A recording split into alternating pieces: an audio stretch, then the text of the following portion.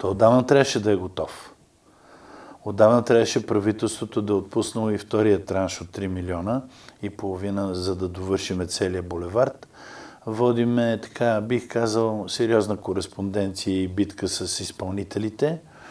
Но, както аз обичам да казвам, Панония е олицетворение на българската действителност в национален смисъл. Виждате колко години строиме Хемус, колко години Струма. магистралата до Видин.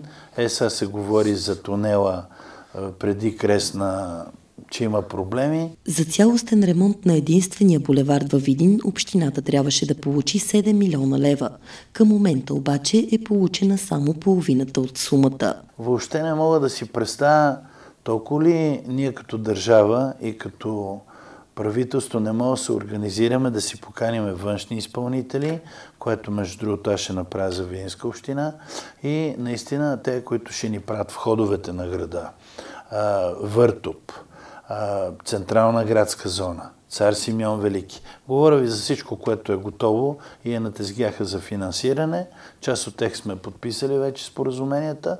Така че моето дълбоко желание като българин и като човек, който все пак ми пука много за моя роден град, който почва да се променя. В това няма никакво съмнение.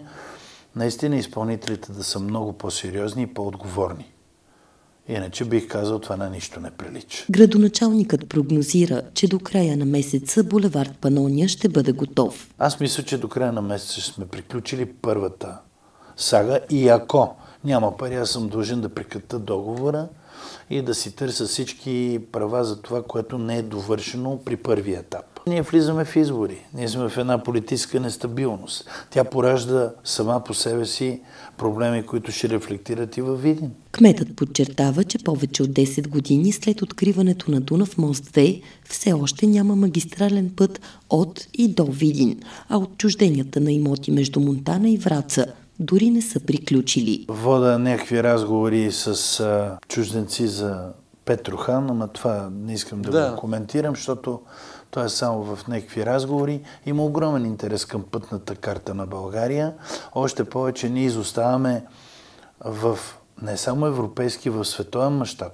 Много обичам да давам пример с нашите комши, които ни изпревариха с скоростните влакове до Солун, през Белград и Скопие, с магистралите, които включително и покрай Дунова почват да правят.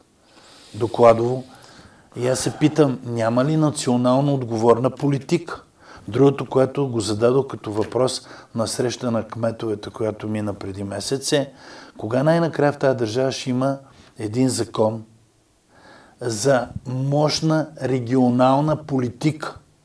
Нека някой да обясни какво искаме да правим с Северозапада, с Видин. Когато направим входовете на Видин, когато направим улиците, когато дадем по-добър жизнен статус на хората, тогава остава въпросът как ще ги върнем от чужбина – казва още Цветан Ценков. Аз правя каквото мога като кмет и моята администрация не се е спряла да привличаме, да викаме, да се опитваме и по плана за устойчивост и развитие сме заложили три индустриални зони. Много, много се надявам тази година да се усетат някои неща. За мен са важни три неща. Мощна национална политика, мощна регионална такава и създаване на предпоставки за използване на богатото ни наследство от култура – категоричен бе Цветан Ценков.